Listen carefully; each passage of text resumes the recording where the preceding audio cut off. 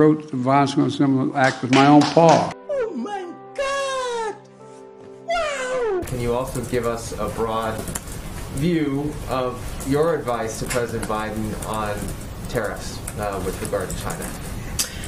Stupid! Um, so, uh, I would say here's my broad view, and I don't want to get into details on any particular company. Um, my broad view is what we do on offense is more Ow! That hurt. do on defense. To compete in the long run with China, we need to rebuild America in all of the ways we're talking about today. And by the way, do that with our allies. You know, we have to work with our allies. Angela, come here. Check this out. Oh, yeah. Damn.